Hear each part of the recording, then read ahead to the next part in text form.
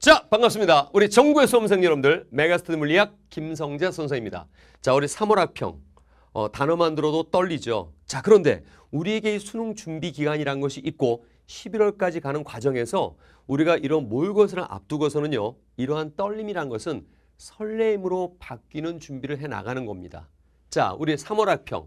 사실 이제 이 교과서가 바뀌고 첫 해기 때문에 또 전범위가 처음으로 이루어지는 그런 모의고사이기 때문에 상당히 긴장도 많이 하고 걱정도 되고 좀 시간에서 좀 미뤄놨던 부분이 점점 다가오고 해서 상당히 지금 어 생각이 좀 복잡하신 분들이 많이 계실 텐데 이 캐스트를 보시고 마음을 다잡기 바랍니다. 자, 여러분 3월 합평은요. 어, 어렵게 나오면 어떡하지? 시험 못 보면 어떡하지? 아니, 지금은 그럴 때가 아닙니다. 한 번 더 얘기해요.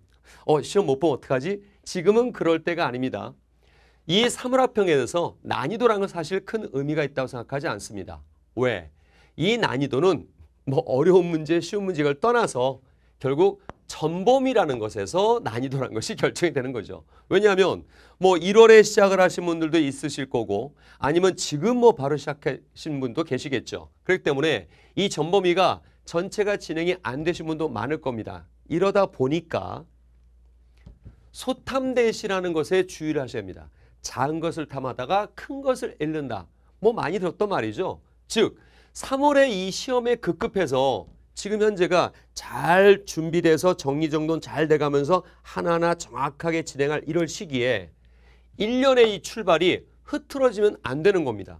그냥 마음만 급급해서 갑자기 막 기출문제, 문제집 사다가 풀고 또 수특 문제만 풀어보고 개념은 돼 있지 않으면서 항상 여러분 명심할 것은요.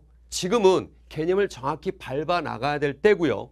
3월 말까지 전 범위의 개념과 특히 물리학이란 것은 개념 따로 문제 따로 이게 있는 건 아니랍니다. 물론 지금 막 문제를 많이 풀고 개념은 조금 해놓고 문제 막 적용하는 이런 연습은 아니고 개념과 문제를 동등하게 50대 50으로 잡아서 개념을 적용하는 연습을 지금 꾸준하게 성실하고 정직하게 해야 될 때입니다. 지금의 이 정직스럽지 못한 그런 상황이 생기면 결국 나중에 몇 개월 뒤에는 쓰나미가 되어서 눈덩이가 이만큼 바위덩이처럼 커져서 결국 자신을 덮치게 됩니다. 지금은 성실하고 정직하게 자기 밟아 나가야 될 부분을 밟아 나가야지 시험에 급급해서 1년 농사를 망치면 안 되는 겁니다. 자, 그래서 이 3월 학평은 잘 보는 것보다도 이것도 중요하겠지만 잘 보는 것보다도 얼만큼 잘 활용하느냐가 중요한 겁니다. 그리고 절대 이 3월 합평 점수에 좌절한다? 이거 벌써 좌절하는 연습하는 겁니다. 지금은 좌절할 시기가 아니고 아 내가 이런 문항들을 접했는데 그래 이 부분은 공부를 했던 부분인데도 불구하고 내가 여기서 미스가 생기는구나. 또 이런 부분 아직 진행되지 않았는데 이런 내용들이 결국은 이제 진행이 될 거구나. 이렇게 이런 부분을 잘 활용을 하실 때랍니다. 그래서 특히 사실 저는 이 몰라, 모르겠습니다. 6평이라든가 이 9평은 분명히 이제 뭔가 좀 우리 준비를 좀 어, 딱 기둥을 잡고 새 나가야 되는데 3월 학평 대비 모의고사? 아니, 모의고사를 잘 보려고 모의고사를 또 본다? 자, 그래서 3월 학평 대비 모의고사, 3월 학평을 잘 보려고 이거를 보는 것이 아니고 수능을 잘 보러 가는 것이죠. 그래서 이 러셀 모의고사를 이제 개강을 할 겁니다. 그래서 아주 정갈하게 문제가 제약된 부분에 대해서 선생님이 이 강의를 이제 개강을 할 건데 이 러셀 모의고사는요 우리에게 어떤 상황이고 또 선생님이 어떤 어, 상황으로 여러분과 함께 나가는 거냐면 불안 심리를 해소하는 겁니다. 그렇다고 해서 문제 한번 풀어보고 됐어 이게 아니고 실제로 이런 문항들 가장 기본적이고 정갈한 내용들로 꾸며졌습니다. 이런 불안 심리를 좀 해소하고 또 전범위를 다 나갔던 못 나갔던 간에 전범위에 대한 점검을 해 나가면서 제가 이 해설 강의 같은 경우는 단순히 문제만 풀고 끝내는 것이 아니라 모든 해설 강의 그렇지만 바로 개념도 한번 같이 점검해 가면서 그로 진행하기, 진행하기 때문에 개강 후에 선생님이 손글씨 해설지도 함께 제공해 드리겠습니다. 심혈을 기울여서 제작을 할게요. 자, 이런 모의고사는 결국은 3월 학평을 잘 보려 보는 것이 아니라 우리들의 불안 심리도 해소하고 전 범위에 대해서 한번 쭉 한번 훑어보는 그런 기회도 갖는 겁니다. 전 범위가 다 나갔든 진행이 됐든 안 됐든 간에. 알겠죠? 자, 그 다음. 이 시기 되면 이제 슬슬 이제 상담이나 질문 많이 들어오는 부분이 있습니다. 그래서 수특 어떻게 할까요? 특히 기출 어떻게 할까요? 이런 어, 말씀 많이 하시는데 이게 급급해가지고 막 수특 책도 써서 막 그냥 풀어대. 그래도 그 점수가 직결되는 것은 그렇게 어, 많지 않습니다. 이 수특 특히 여러분 수특은요 1년 동안 보는 겁니다. 그래서 제가 어떠한 상황으로든 이 수특에 대해서 해체를 올해 함께 인강생과도 나누려고 하는데요.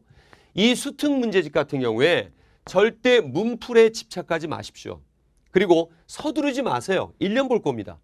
근데 지금 이제 수특 문제를 좀 풀면서 좀 적용도 연습하겠다 이러신 분은요. 당부 하나는 뭐냐면 먼저 개념 적용이 연습된 뒤에 하십시오. 그렇다고 전범을 다 끝나고 수특제를 딱 하는 것이 아니라 어, 조금 현명한 방법은 각 단원별로 특히 각 중단원별로 자 대단원 1단원에 3개의 중단원이 있고요. 대단원 2단원에 2개의 중단원이 있고 대단원 또 3단원에 또 2개의 중단원이 있답니다.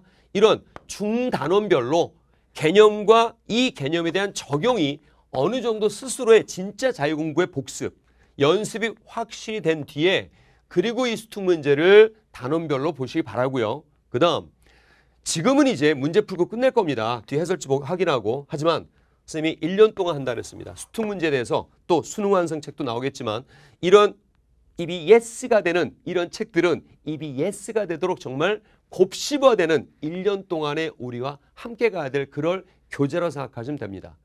지금 현재는 일단 개념과 이 적용에 대해서 성실하고 정직하게 준비를 할 때는 거 절대 잊지 마시 바라고 조마조마하지 마세요. 조급함, 조급하다는 것은 이 조급함 심리는 모든 것을 그르치는 첫 번째 원인이 된다 그래요.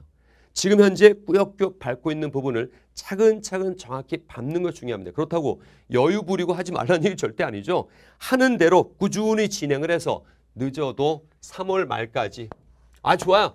4월 학평 전까지 4월 학평 전까지는 반드시 이 대한 개념을 준비한다 생각하시고 그래서 4월 학평 전범을 보고 나서 이제 6평을 1차 수능의 목표로 잡으시고 그리고 이제 다지면서 문제풀이도 많이 하고 기출도 적용해 보면서 이쯤 되면 이제 이 새 교과에 대해서 아, 어느 부분이 바로 이제 중요한 부분이구나 이런 부분들이 많이 선별이 될 겁니다. 자 그렇게 함께 진행하고요. 특히 기출 주의하십시오.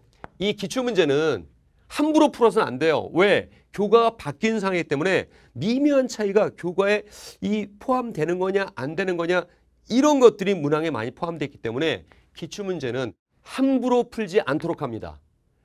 식상해져요. 낭비하지 마십시오. 그렇다 아껴두고 묵혀두라는 얘기는 절대 아닙니다. 개념이 어느 정도 준비가 되는 4월이나 3월 말이나 이때 시작해도 절대 늦지 않습니다. 수특도 마찬가지고 단지 막 풀고 싶어 죽겠어. 그런 분들을 위해서 제가 이런 말씀을 드린 겁니다. 아셨죠? 자 여러분들 끝까지 파이팅 하시 바라고 항상 여러분들과 함께 진행하면서 이 기출 커리큘럼이라든가 이런 부분들도 정말 심혈을 기울여서 제작하고 함께 진행해 나가겠습니다. 자, 우리 11월 수능 위해서 마지막으로 외쳐봅니다. 물리만점! One more time. 물만대! 오케이.